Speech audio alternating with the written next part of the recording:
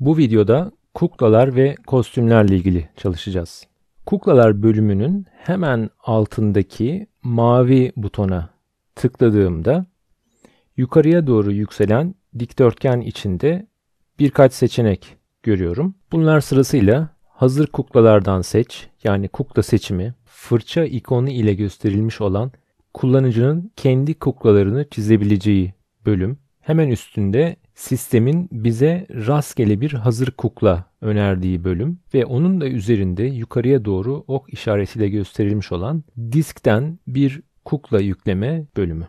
Biz bir kukla seç bölümüne baktığımızda gördüğünüz gibi çok sayıda e, kukla listesi var. Hemen üstünde fırça bölümünde kendi kuklamızı çizebileceğimiz bölüme geliyoruz. Şimdi kuklalar kendi içlerinde bir ya da birden fazla kostümden oluşuyor. Örneğin kedi kuklamıza baktığımızda şu anda ismi burada kukla 2 olarak görünüyor. Kedi kuklamızın iki tane kostümü var. Bu kostümleri sırayla seçtiğimde ayaklarının hareket etmekte olduğunu, sanki yürüyormuş gibi hareket etmekte olduğunu görüyorum. Benim biraz önce yarattığım kukla 1 içinde ise şu anda bir kostüm var. Kostüm 1 ve bunun içi şu anda boş. Kostüm 1 yazısının hemen altında yazmakta olan 0 çarpı 0 ise piksel cinsinden en ve boy uzunluklarını veriyor. Fırça butonuna tıklayıp bir doldurma rengi belirleyip ekranı boyayabilirim. Boyadığım görüntü anında çizim ekranında kedinin üzerinde görülebiliyor. Renk değiştirip örneğin biraz daha yeşil bir renk alıp boyamaya devam edebilirim. Yine bu yeni boyadığım yeşil renkte mor rengin üstünde görünüyor. Seç butonunu kullanarak boyadığım alanlara dokunup bu alanları ya da bu nesneleri seçebilirim. Klavyeden delete butonuna basarak nesneleri silebilirim. Yine seçtiğim nesneleri hemen yukarıda bulunan çöp kutusu ikonuna tıklayarak da silebilirim. Bir çember çizdim. Çember seçili durumdayken içindeki rengi değiştirebiliyorum. Doldurma rengi çemberin içindeki renktir. Bu çemberi büyütüp küçültebilirim ya da döndürebilirim.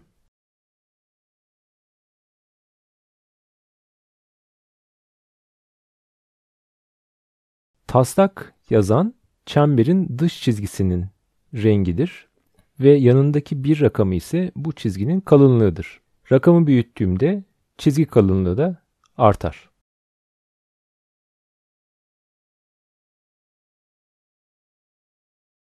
Silgi seçtiğim bölümü siler. Gördüğünüz gibi bu şekilde silgiyle bir çizgi halinde nesneyi e, silmeye çalıştığımda silinen bölüm sadece silginin geçtiği bölüm oluyor. Geri kalan bölümler ise örneğin burada olduğu gibi 3 parçaya ayırmışsam otomatik olarak etraflarında sanki çizgi çizilmiş gibi görünüyorlar ve bu nesneler birbirinden farklı nesneler haline geliyor. Bunları ayrı ayrı seçerek uzaklaştırabilirim ya da kendi üzerlerinde değişiklik yapmaya devam edebilirim. Gördüğünüz gibi çizgi üzerine tıklandığımda çizgi üzerinde bir takım noktalar görüyorum. Bunlara Bezier eğrisi deniyor. Bu noktaların kenarlarındaki kulakçıklardan ya da o çubuklar ucundaki minik yuvarlaklardan tutarak çizgilerin eğimlerini değiştirmem mümkün.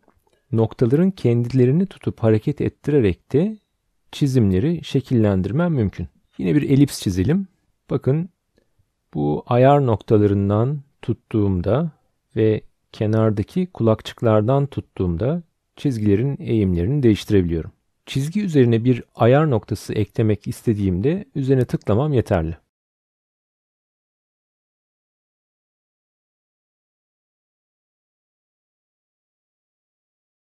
Şimdi bir dikdörtgen çizelim.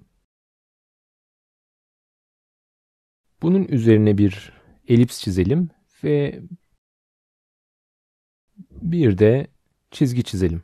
Gördüğünüz gibi bu nesneler aslında birbirinden farklı nesneler. Her birini ayrı ayrı seçip şekillendirmem, değiştirmem mümkün.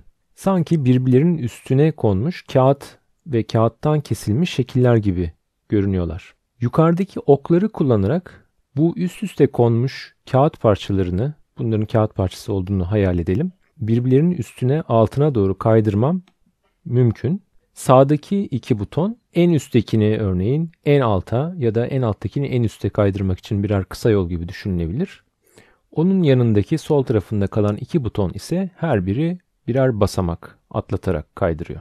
Hemen alttaki butonlar ayna görüntüsünü elde etmek için yani sanki bu şeklin e, yatayda ya da düşeyde bir ayna görüntüsünü alıp orijinali silip bu ayna görüntüsünü onun üzerine yazıyormuşuz gibi düşünebiliriz. Kopyalama ve yapıştırma butonları seçtiğim şeklin kopyalanmasını ve eğer istersem ekrana yapıştırılmasını sağlıyor.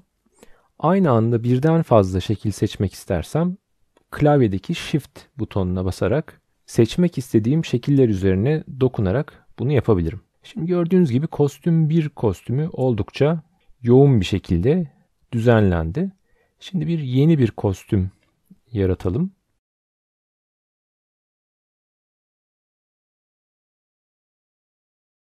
Eski kostüme, kostüm 1 kostümüne gelip bütün nesneleri seçip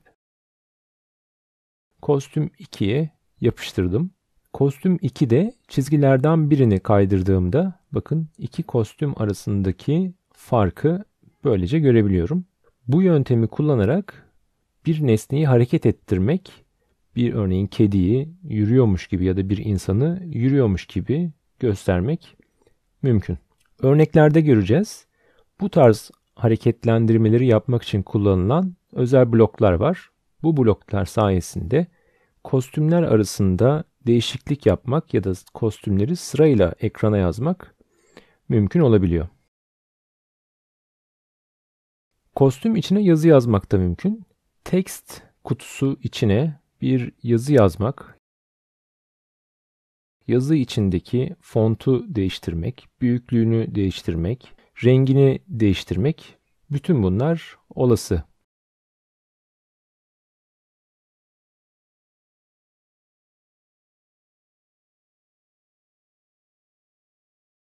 Evet biraz önce hazırlamış olduğum kuklayı da üzerindeki çarpı işaretine dokunarak tamamen sildim.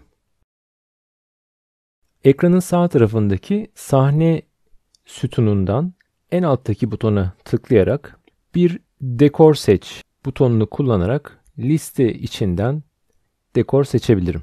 Örneğin ben şimdi Jurassic isimli dekoru seçtim. Seçtiğim dekor var olan boş sahneye ikinci bir dekor olarak eklendi. Dekorların hemen altında yazan rakamlar ekranda piksel büyüklüğü olarak kapladıkları alanı gösteriyor. Örneğin bizim Jurassic dekorumuz 480 piksele 380 piksel büyüklüğünde bir dekor. Hemen üstündeki dekor 1 ise boş. Zaten programı açtığım andan itibaren orada durmakta olan sahneye ait boş dekor. Benim eklediğim Jurassic isimli dekor da yine bu var olan boş sahneye ikinci dekor olarak eklendi. Şimdi bu e, boş dekora, dekor bir içine bir çizgi çizdim.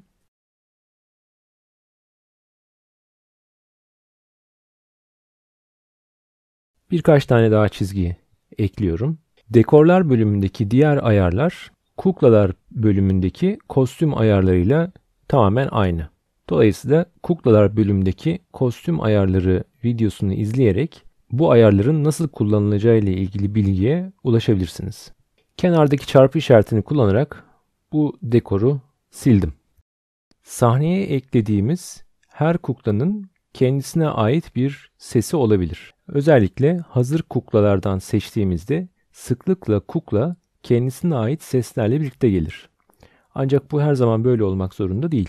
Bazı kuklaların sesleri olmayabilir ya da olsa bile her kuklaya sonradan sesler ekleyebiliriz. Örneğin şu andaki sahnemizde açık alan içinde yürümekte olan, yürüyormuş gibi görünmekte olan bir kedimiz var ve kedi üzerinde benim sonradan eklemiş olduğum iki adet ses var. Bunlardan birincisi pop, diğeri ise birthday.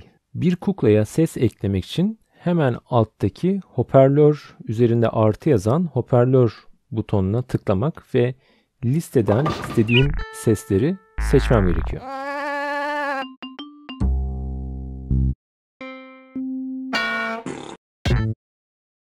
Birthday yani doğum günü sesini ekranda görüntülediğimde bir ses dalgası görüyorum. Bu ses dalgasının düşey yükseklikleri sesin yüksekliğini veriyor. Sesi çalmak üzere play butonuna bastığımda ses üzerinde hareket eden, soldan sağa doğru hareket eden mavi çizgi ise sesin o anda hangi anının çalındığını bana gösteriyor. Bunu bir nevi okuyucu kafa olarak da düşünebiliriz. Alttaki efektlere dokunarak örneğin sesi daha hızlı ya da daha yavaş çalabilirim.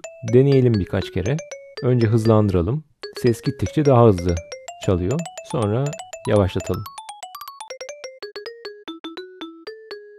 Sesin yankılanmasını istersek yankı efektini kullanmamız yeterli olacak. Geri alalım. Bunu bir robot sesine benzetelim. Geri alalım. Ses yüksekliğini arttırmak istersem daha sesli butonuna basmam gerekiyor. Gördüğünüz gibi daha sesli butonuna her bastığımda dalga yükseklikleri artıyor. Yani sesin yüksekliği artıyor. Daha yumuşak butonuna her bastığımda ise dalga yükseklikleri azalıyor. Yani ses kısılıyor.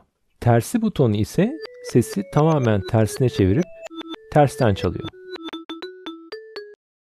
Sesin belli bir yerini kesip atabilirim ya da belli bir yeri üzerinde, belli bir aralık üzerinde çalışabilirim. Bunun için yukarıdaki makas butonuna tıklıyorum ve ayar çubuklarını kırmızı renkli ayar çubuklarını hareket ettirerek sesin kullanmak istediğim bölümünü seçiyorum. Bu örnekte sağda ve solda kalan kırmızı alanlar sesin kullanılmayacak yani atılacak olan bölümleri iken ortada kalan bölüm sesin kullanılacak olan bölümü. Evet ben sesin sadece bu bölümünü istedim ve kırp butonuna basarak sesi kırptım.